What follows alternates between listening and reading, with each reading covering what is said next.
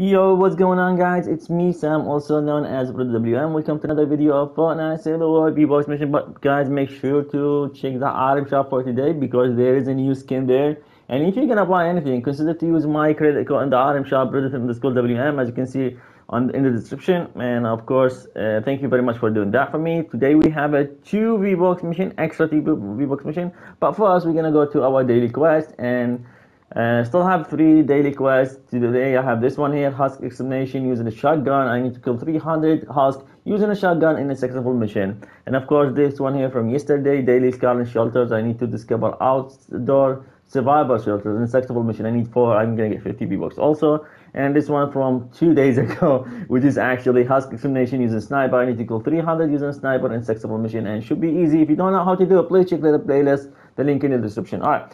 Moving on to our daily uh, V-Bucks mission. Today we have one in, uh, uh, sorry, Stonewood. And as you can see here on the screen, it's Firestorm Suburbia power level 9. And you can get 25 V-Bucks by doing that. And should be so easy for you to do it.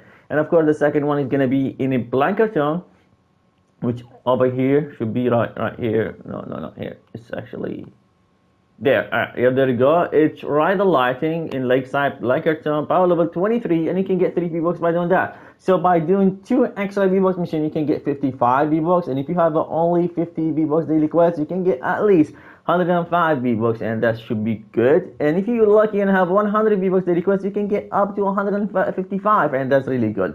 Alright, thank you guys for watching. Make sure to like the video, subscribe. See you guys next video.